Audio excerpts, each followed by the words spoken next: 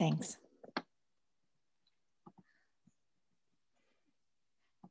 Okay, so hi, my name is Melody Ma, and my team and I spent the semester researching countermeasures against spaceflight osteopenia. Okay, so today I'm going to be introducing spaceflight osteopenia's like specific relevancy to uh, microgravity environment, as well as symptoms and treatments currently being researched. And then I'll end with some discussion about the trajectory that research is taking.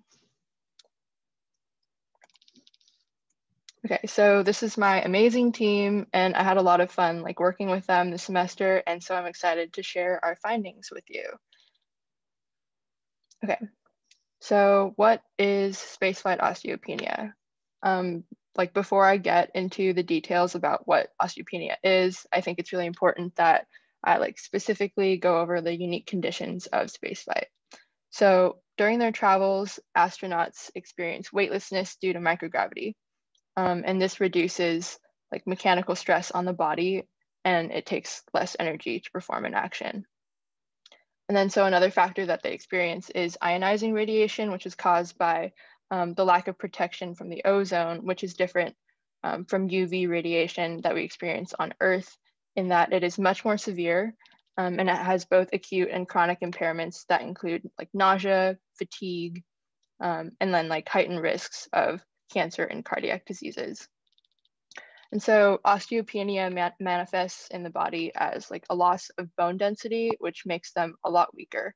And the image on the right um, shows a different level of porousness um, with osteopenia at the midpoint between like normal bone and osteoporosis. So it's kind of like a transition state between those two things. And then for an overview, bone growth is a dynamic process. Um, it's constantly being formed and reduced in a mechanism that we call remodeling. And remodeling operates through two types of bone cells. So osteoblasts form bone while osteoclasts uh, regulate mineral levels and they ensure like maintenance.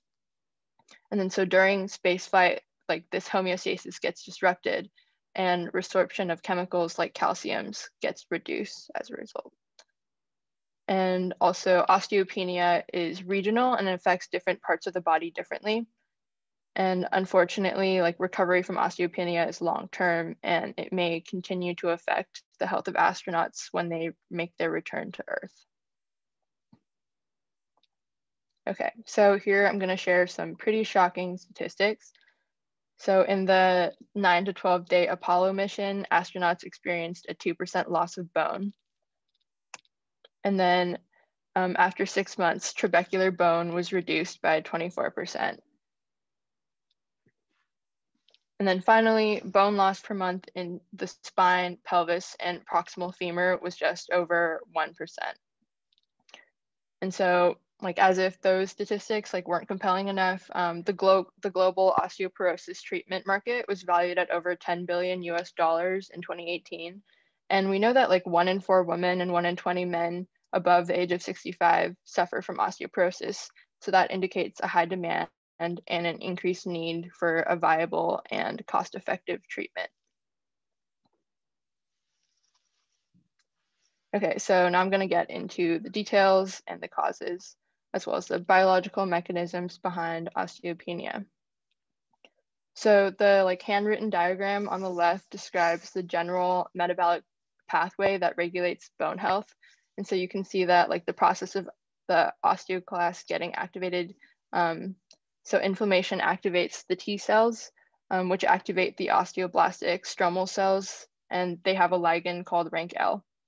And this connects to the osteoclast precursor in the yellow, um, which has the receptor IKB kinase, which phosphorylates the inhibitor of kappa B and then frees NFKB. And so we know that NFKB like transcribes genes, and this allows osteoclasts to be formed for bone resorption and calcium release. And then in the purple and green, inhibitors denosumab and OPG um, reduce activation of osteoclasts to decrease degradation of the bone matrix. And then that brings us to the second diagram. So skeletal muscle mass is directly related to bone health through a process, process that we know as um, bone muscle crosstalk. So myokines are released from muscle and they interact with bone activity. And then simultaneously, osteokines are released from bone and that those interact with muscle. So one myokine in particular is pretty important. Um, myostatin reduces muscle growth to prevent hypertrophy. And so, so some of the causes are um, like when this balance between muscle and bone is disrupted, um, you end up with osteopenia. And this occurs specifically when there is more breakdown than buildup, uh, which is influenced by like many pathways in the body, as I just described, um, as well as factors in overall bone health. And then in addition, um, different hormones and environmental factors also play a role in how these cells are working. And going into space has like uh, systemic effects that can heighten osteoclast activity. And so like an example of this is mechanical stress or decreases in mechanical stress, which change how osteoblasts and osteoclasts are working. Um, and another change is like hormone imbalances because those regulate osteoclast, uh, the osteoclast pathway. An example is like calcium homeostasis regulated by the pituitary uh, gland affects bone health. And then finally, like ionizing radiation can affect gene transcription and cells overall, which can impact how the cells are working. And then mechanical stress is one of the biggest factors on bone health. Um, blood flow in bones is heavily altered in space, and mechanical loading with these fluid forces um, maintains the general structure within cells. And the body will in turn address this by increasing osteoclast activity. And so we know that there are two types of bone tissue, cortical uh, bone is compact and dense, and it forms a protective like outer shell around marrow, while trabecular is more spongy and designed for strength. But um, both of these types of bone experience the same losses in space, and that can occur like within the same bone. And then the image below depicts this type of loss, but measurements that are not visual include mass, density, torsion, and compression. Okay, so what are some of the known symptoms? So in flight, musculoskeletal symptoms are pain, stiffness, or fatigue at muscles, bones, ligaments, tendons, and nerves, and then bone fragility where weight is concentrated, um, such as the hip.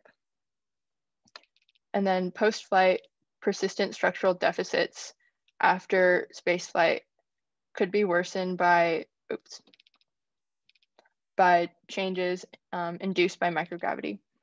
And this predisposes long duration astronauts to fractures at an earlier age. Okay, so now I'm gonna get into the current treatments for spaceflight osteopenia. So non-medical treatments are making structural alterations to the spacecraft. Um, artificial gravity can be created by centrifugal force, um, but the drawbacks are that it can cause nausea and requires a significant amount of energy over a sustained period of time.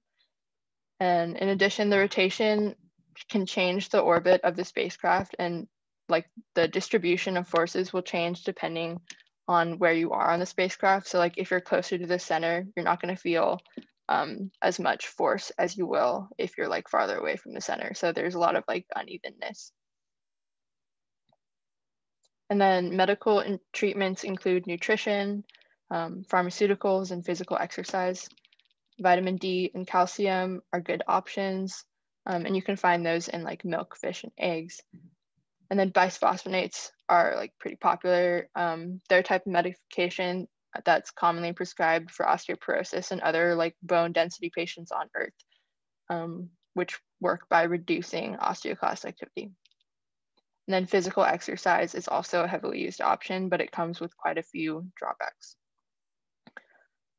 So physical exercise is effective at inhibiting osteoclast activity on Earth, um, but it requires like specific machines, as you can see. Free weights are obviously not an option um, in a microgravity environment, so astronauts use negative pressure for resistance. Um, so it's pretty clear that osteogenic stimulus from exercise like has been inadequate to maintain bone mass, just due to insufficient load or duration through exercise. And then bisphosphonates um, are another current treatment. And these focus on the decreasing function of the osteoclast um, and the osteoclast mediated bone resorption. Okay, so the mechanism of action begins by stimulating osteoclast apoptosis, otherwise known as cell death. And then this decreases the number of osteoclasts. And that in turn decreases the effect of bone resorption or bone loss. And then simultaneously, it inhibits the cholesterol synthetic pathway, which decreases the osteoclast differentiation and therefore their function. Okay, and then bisphosphonates are like generally administered intravenously or orally, and they must be taken like on an empty stomach. And some of the drawbacks are that only 50% of the BPNs that are absorbed by the gastrointestinal tract reach the bones. They can also cause GI irritation. So they have to be taken with non-mineral water because mineral water can actually cause poisoning. Um, and the patient must also be upright for 30 minutes. And then high doses and sustained periods of therapy can cause hypercalcemia or too much calcium in the blood, which can cause parts of the bone, specifically in the jaw, to die due to a lack of oxygen. And then, of course, um, the microgravity environment contributes another complication for the administration of these drugs. Um, so air bubbles tend to linger in liquids because there isn't gravity to pull the liquid down. Um, and this like poses an issue for medication administered through an IV or injected into the vein. And then as well, um, shelf life is also low and storage is limited, which is another obstacle for long-term therapy. Um, but on like a more positive note, there is a lot of room to explore solutions. So the majority of like the current pharmacological interventions could be classed as like resorption prevention drugs, which means that they focus on how osteoclasts are differentiating, how they're maturing, and like how they're activated.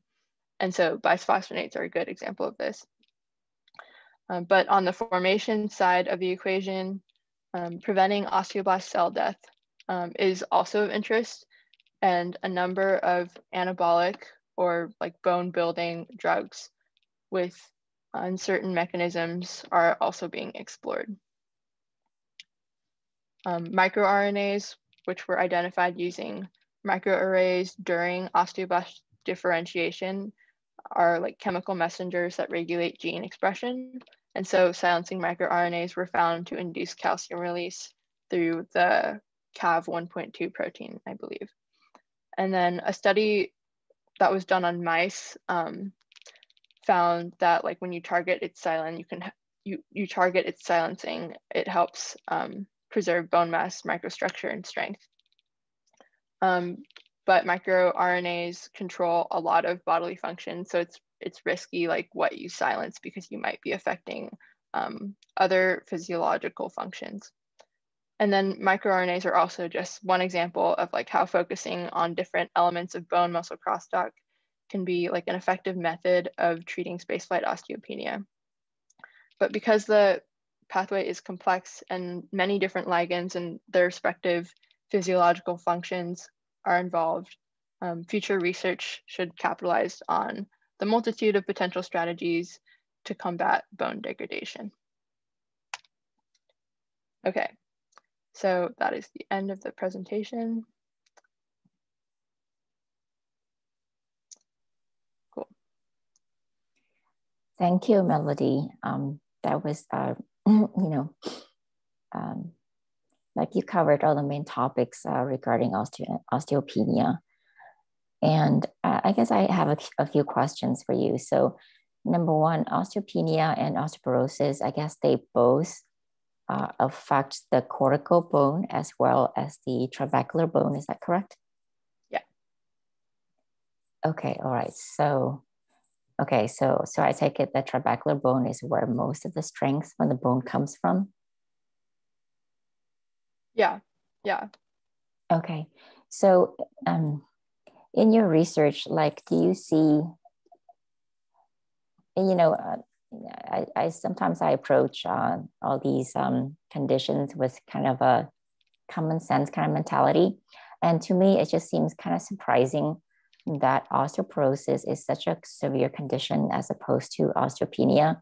You would think that people traveling in outer space would suffer a lot more from, from bone loss, but it's actually the people on Earth are who have like the more severe condition. So at the molecular mechanism, can you like kind of explain what why in osteoporosis it's just so it's just so much more severe for us? Yeah, okay. So osteoporosis like is more severe because it's like the the stage after osteopenia um, where like bone density is like really um, changing and like i think that image that i showed that had like normal bone and then osteopenia and then osteoporosis like kind of in a line together showed osteopenia like in the middle um, and that's kind of like the transition state between the normal state of bone and then osteoporosis after you've experienced all of that like bone mass loss. And so osteopenia is like when you're lacking minerals and you haven't yet like experienced the symptoms of not having like bone volume.